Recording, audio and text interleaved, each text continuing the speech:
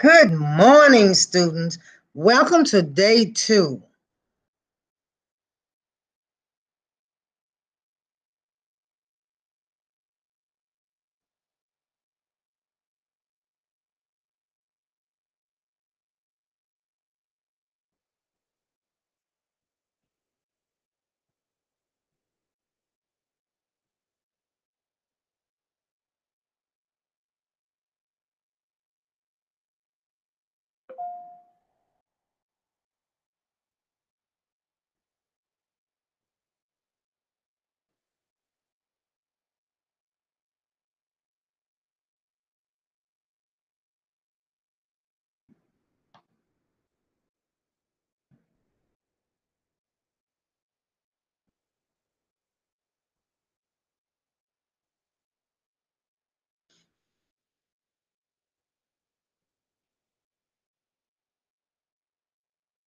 Summarizing the text.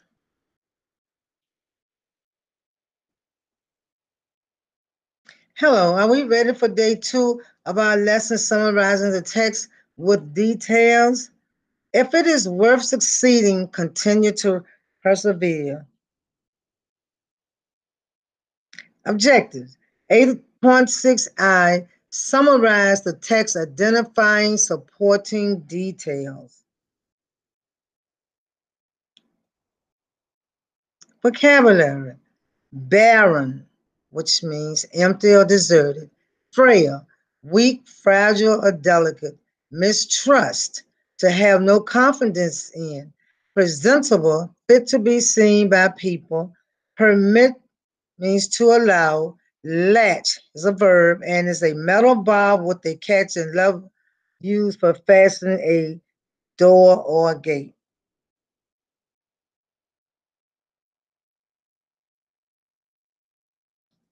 Tiger selection, thank you, ma'am. You have a snapshot today. The snapshot is Have you ever been called out by an elder for your behavior when you were younger? Or maybe you made a mistake and someone gave you a second chance. Write about your experience and share.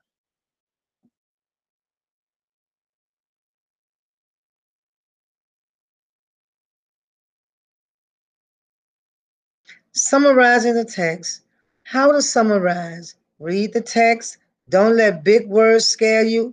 And ask, what was this about? Summarizing the text with supporting ideas. Why use summarizing? And we discussed this the other day. It helps students learn to determine essential ideas and consolidate important details that support them. It enables students to focus on keywords and phrases of an assigned text that are worth noting and remembering. It teaches students how to take a large selection of text and reduce it to the main points for more concise understanding. What's the big idea? Summarizing the text. Learning objectives. Students will be able to write a three to four sentence summary on short story text. Introduction Knowing how to summarize a short story text is a skill that will help you in the future. Today, we will practice identifying the main idea of a text to write a three to four summary of a text. Let's go summarizing. Review what is summarizing, why summarize, recognizing main ideas in the text, how many sentences do you write? Do we copy what the author has written? Discussion of what we've learned, teachers plus students.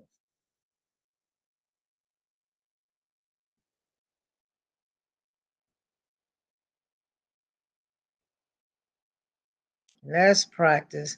Today we will read and discuss the short novel, Thank You Ma'am by Langston Hughes. What is the main idea of this story? What does Langston want us to proceed. Before beginning the story, I will give you background history on Langston Hughes in the short story, Thank You Ma'am. Read the short story that you read the short story, Thank You Ma'am by Langston Hughes. Read aloud with teacher the story, Thank You Ma'am. Discuss the story and complete the exercises that the teacher will assign to you. Langston Hughes was a Harlem Renaissance poet. He was raised by his grandmother. Langston Hughes, in full, James Mercer Langston Hughes. That's his whole name, his full name. He was born February 1st, 1902 in Joplin, Missouri, in the United States. And he died May the 22nd, 1967, in New York. He was an American writer who was an important figure in the Harlem Renaissance and made the African American experience a subject of his writings, which ranged from poetry and plays to novels and newspaper columns.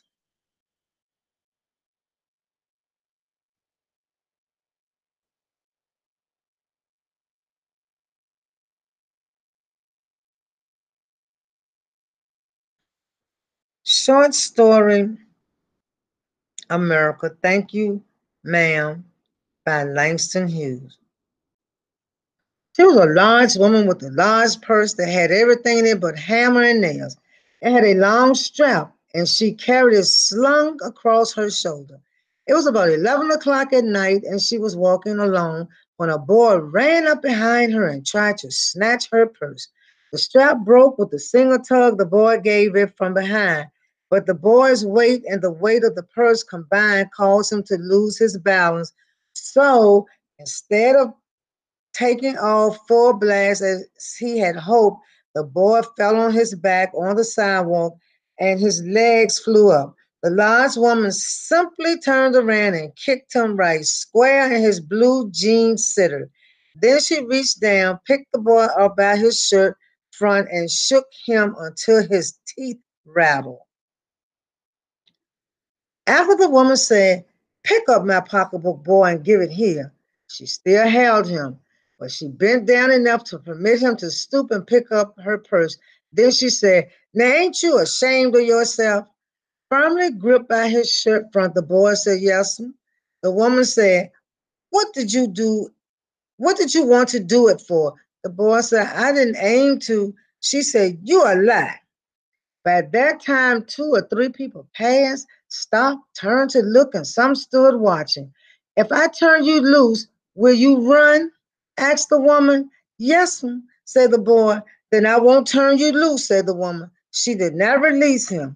I'm very sorry, lady. I'm sorry, whispered the boy. Mm-hmm. And your face is dirty.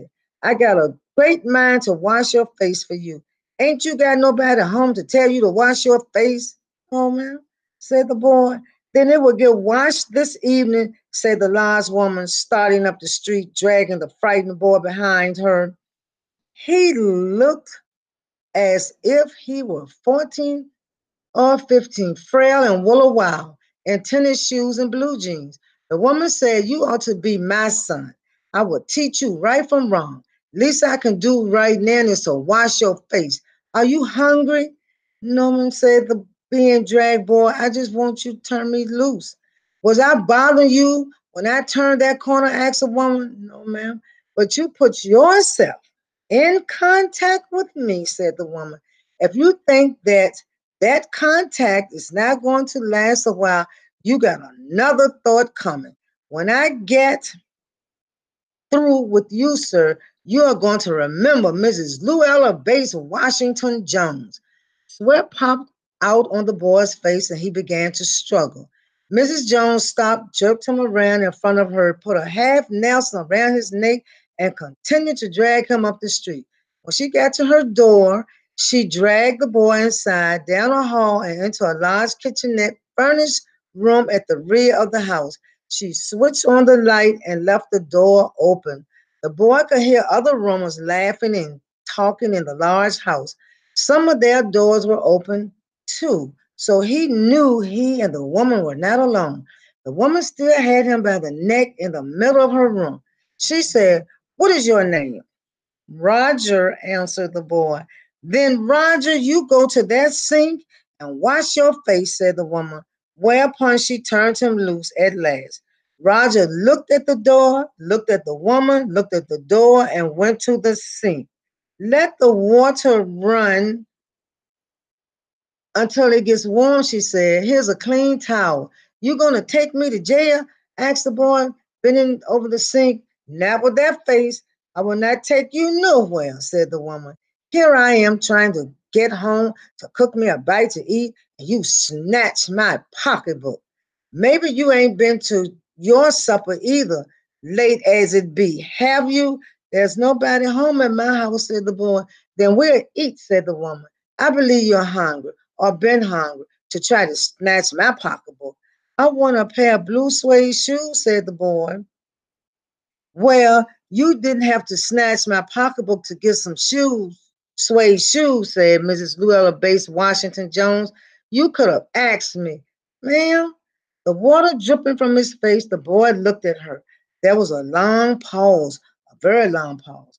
After he had dried his face and not knowing what else to do, tried it, tried it again. The boy turned around, wondering what next. The door was open. He could make a dash for it down the hall. He could run, run, run, run.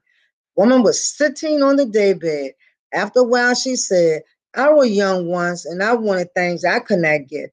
There was another long pause. The boy's mouth opened. Then he frowned, but not knowing he frowned. The woman said, Mm-hmm. You thought I was going to say, but didn't you?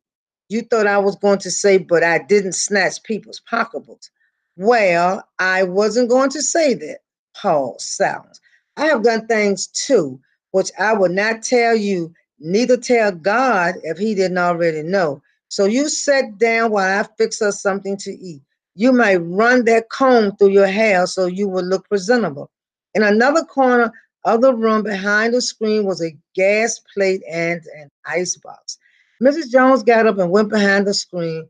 The woman did not watch the boy to see if he was going to run now, nor did she watch her purse, which she left behind her on the daybed. But the boy took care to sit on the far side of the room where he thought she could easily see him out of the corner of her eye if she wanted to. He did not trust the woman not to trust him, and he did not want to be mistrusted now. Do you need somebody to go to the store? ask the boy, maybe to get some milk or something. Don't believe I do, said the woman, unless you want sweet milk yourself. I was going to make cocoa out of this canned milk I got here. That will be fine, said the boy. She heated some lima beans and ham she had in the icebox, made the cocoa, and set the table. The woman did not ask the boy anything about where he lived or his folks or anything else that would embarrass him.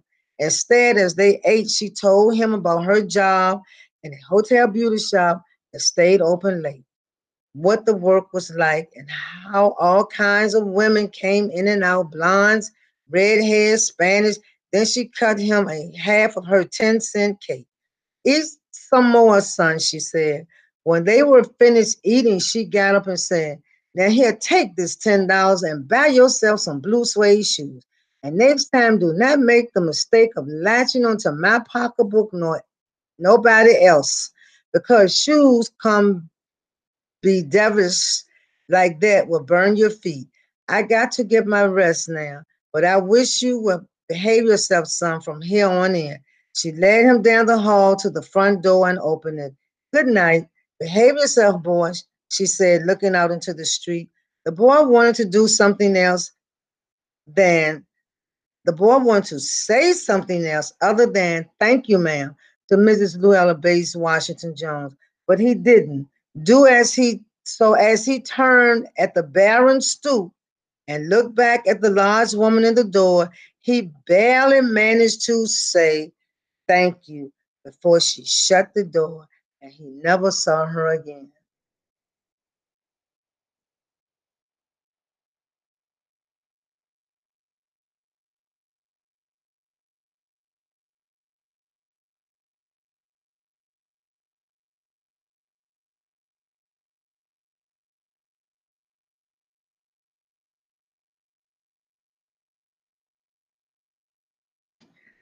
Here's an activity that you're going to do called the News Hound Summary. What you're going to do, you're going to write facts from the selection on who, what, where, when, why, and how. Then you have your super sleuth summary. Use the facts you uncovered and uh, list above to write a one paragraph summary of the selection. Exit ticket. How does Roger most likely feel when the woman said, Well, you didn't have to snatch my pocketbook to get some suede shoes? You could have asked me. Which character trait of Mrs. Luella Bates Washington Jones is essential to the storyline? In the beginning of the story, the woman refers to Roger as boy, but she begins to call him son when she gets him to her house. What does this suggest about the relationship between the two characters?